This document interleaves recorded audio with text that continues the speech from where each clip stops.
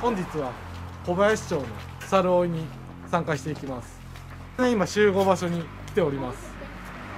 皆さんおのおの猿に対抗する武器を持って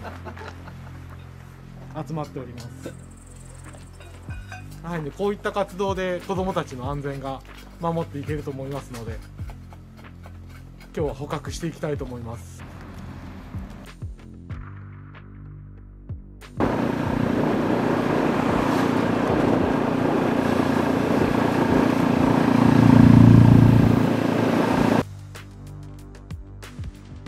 千葉でさ、あの、パンパン鳴らしてるだけってだって、おらへん、おおるかおらんかわからんけど。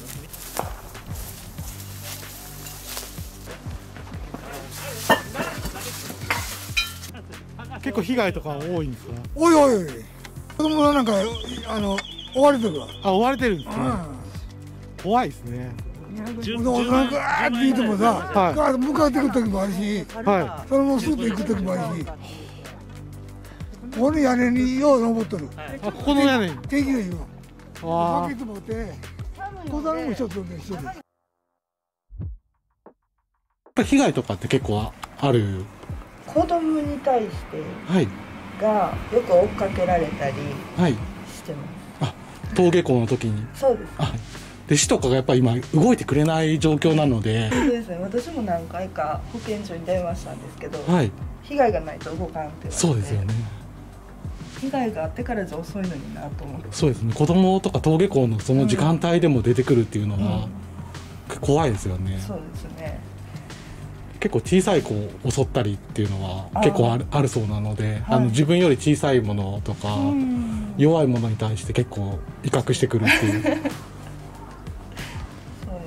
子供が追いかけられる回数が多いかな。そうですよね。本当それも結構聞くので 小さいやっぱ小学生の子たちがうんうんあの登下校の時に。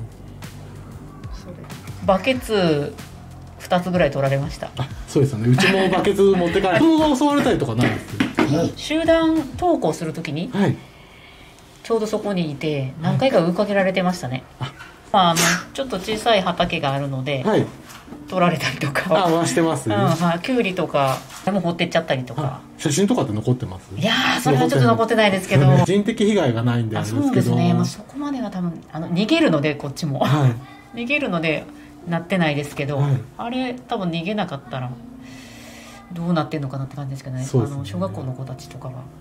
逃げれないですよ本当にね走ってじゃないと、うんしたまたま私が見かけたのは高学年の男の子とかだったのではい。逃げてましたけど触らなければ追いかけられることもないのかもしれないですけどちょっと目当ただけでね切ったらちょっと怖いですもんね。向こうも餌がないんであの威嚇してきたり。ですよね、はい。子供のの植木鉢はい。が夜中かな割られてたのと、はい。なんかひもう鉢はねひっくり返されてはい。土がこうもうそのままその辺に。あ出てる状態そうですねバーンと植木はもう3つぐらいやられましたかね、あとはバルコニーにあの糞が2回ぐらい続けてあのあったりとか。であの酸のところに足足跡みたいなのがついてるので、あ猿かなって言って。子供がはなちょっと離れて住んでるんですけど、は孫を連れて散歩に来た時には追いかけられましたよ猿に。い危ないですね。そうですね。でまあ抱えて、はい。子供抱えて息子走って戻ってきましたけど、うん怖かったって言ってましたね。猿はこの辺は私あんま見あ見ないですけど。自治体で猿追い皆さんであれで量出るんで。すええ僕はね水沢とか行くとよく見るんですけどね。コブの音とか。この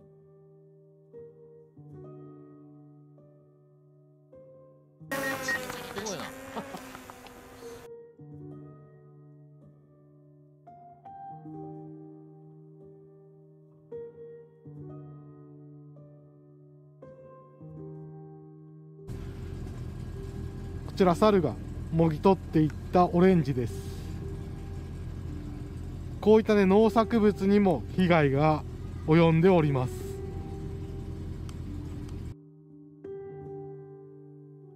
自警団の方にちょっとお話を聞いていきます。はい。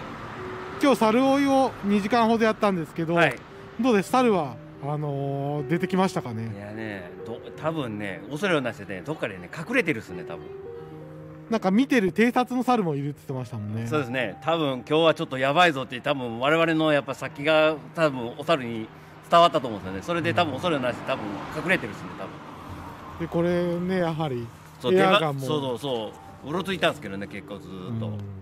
まあ、これ見たらちょっとお猿もびっくりして逃げちゃいますよね。やっぱりあの我々やっぱりねみんな皆さんの先も多分伝わったと思いますね多分でもこういう活動でして、はい。あの保健所とかが動いて、まあ、住民がもっと安心して暮らせるように。そうですね。あの自治会の方々もみんなねあの一生懸命あのうろうろとこう回っておられたんでなかなかお猿に会えなかった方ちょっと残念ですけど今後とも活動を続けたいと思います。そうですね。今後はね、あのもうやっぱ危険なのではい。なるべく市とか保健所の方が動いてもらってそうですね。はいで子供たちもね襲われてるって結構言ってたので。そうですね。猿は油断してるとねや舐めてるとすぐ来るんで僕もちょっとあの襲われ襲われかけたところもあるもんでやっぱり油断してるとやられるんで今後とも気をつけたいと思います。はい。またじゃあ参加させていただきますので。はいよろしくお願いします。はい今日はありがとうございました